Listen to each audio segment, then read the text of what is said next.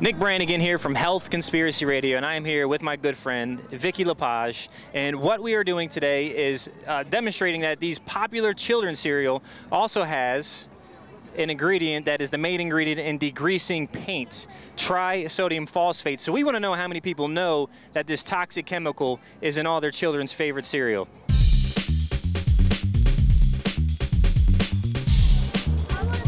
Hey kids! Are any of these your favorite cereals? Which one? Yeah, Reese's Puffs. Hmm, that's a really hard choice because actually, they're like my three top.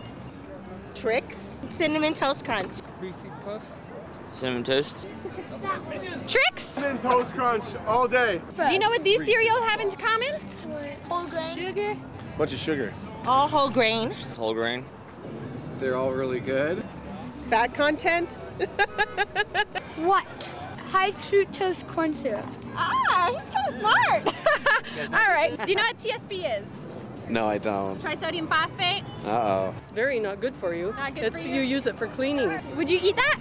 No, I don't know what it is. It's degreaser, it's paint remover, it's a lubricant.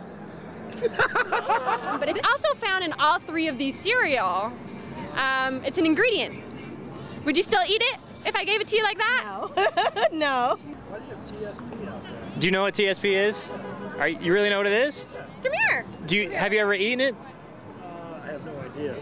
I know what that is. What is Tri- it? Trisodium phosphate. What does it do? It cleans your walls very, very well prior to painting. Yeah. Would you eat it? Do you know that's in your cereal? It's already an ingredient. Serious? Yep. In all three of these.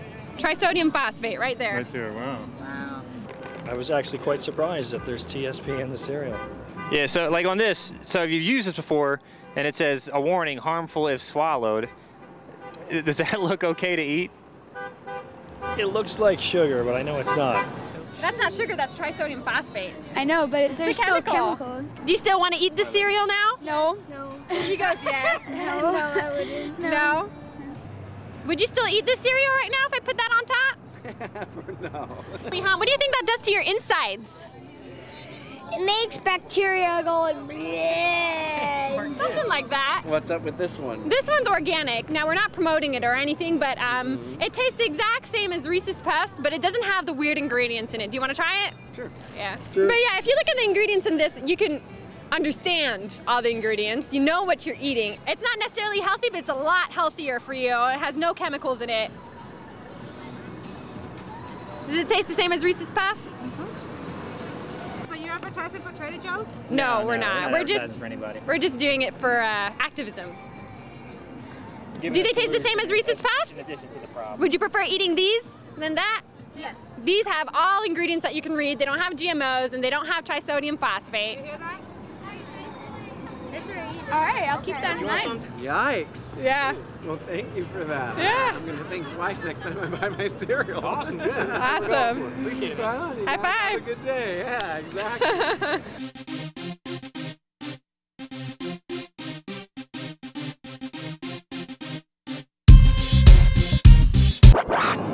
Do, do they put uh put that stuff in uh Cheerios?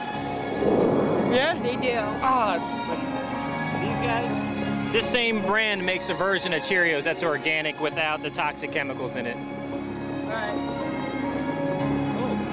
Just as a quick disclosure, people have been asking us if we work for Nature's Path. We don't. But my mailing address is 2433 East Tropicana Avenue, Las Vegas, Nevada 89121. So Nature's Path, make the check out to uh, Nick Brannigan and Vicky Lepage and, uh, and, and compensate us for promoting you. No, I'm just teasing, but we don't work for Nature's Path.